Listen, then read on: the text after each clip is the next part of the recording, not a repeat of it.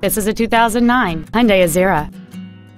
It has a six-cylinder engine and an automatic transmission.